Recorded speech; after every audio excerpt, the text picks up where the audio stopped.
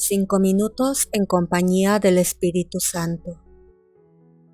Meditaciones de Monseñor Víctor Manuel Fernández. 12 de abril. En el nombre del Padre, y del Hijo, y del Espíritu Santo. Amén. Ven, Espíritu Santo, llena los corazones de tus fieles, y enciende en ellos el fuego de tu amor. Envía, Señor, tu Espíritu Creador, y se renovará la faz de la tierra. Oh Dios, que has iluminado los corazones de tus hijos con la luz del Espíritu Santo, haznos dóciles a sus inspiraciones, para gustar siempre el bien y gozar de su consuelo divino. Por Jesucristo nuestro Señor. Amén. Pido la luz del Espíritu Santo para descubrir cuáles son mis profundas esclavitudes, qué cosas me hacen sufrir inútilmente, qué cosas me quitan la alegría de vivir, de dónde vienen las tristezas, los rencores, las insatisfacciones que llevo dentro. Trato de enfrentar con claridad esas esclavitudes ante la mirada de Cristo y tomo conciencia de mis planes. ¿Realmente quiero liberarme de esas esclavitudes o en el fondo prefiero seguir así.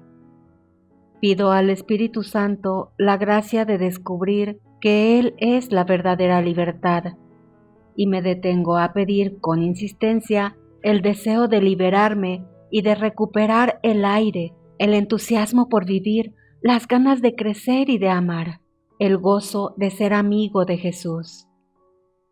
Me imagino cómo sería mi vida cotidiana mi trabajo, mi encuentro con los demás, si dejara que el Espíritu Santo me diera la verdadera libertad. Trato de salir de la oración dispuesto a vivir así en cada momento. Oración.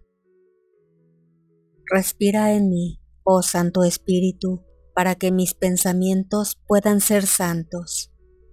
Actúa en mí, oh Espíritu Santo para que mi trabajo también pueda ser santo. Atrae mi corazón, oh Espíritu Santo, para que solo ame lo que es santo.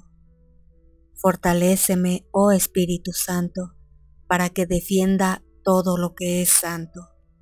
Guárdame pues, oh Espíritu Santo, para que yo siempre pueda ser santo. Amén. En el nombre del Padre, y del Hijo, y del Espíritu Santo. Amén. Gracias por acompañarme. Hasta mañana.